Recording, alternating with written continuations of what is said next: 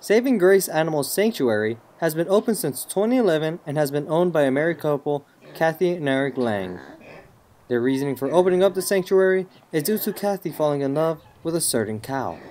Saving Grace was the cow that I fell in love with at another place where we were working, volunteering, and um, I wanted to save her. I wanted to. Wanted to save her, and that was not an option. And so this place is built in honor of her. The sanctuary has recently saved a baby cow from becoming a rodeo cow. We helped save her.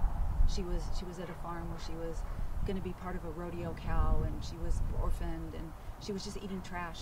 They just weren't caring for the animals, and they had no shade and no water and no food, and, and so a group rescued her and asked if we could take her. Saving Grace is a 100% donation run, and every donation goes all to the animals to help feed them and the animals' vet care. You can also help volunteer. Get in touch with us through our website at savinggraceanimalsanctuary.org. Um, we're also on Facebook. They can Facebook Messenger us, or they can call us. Our number is on our, our website and our Facebook page.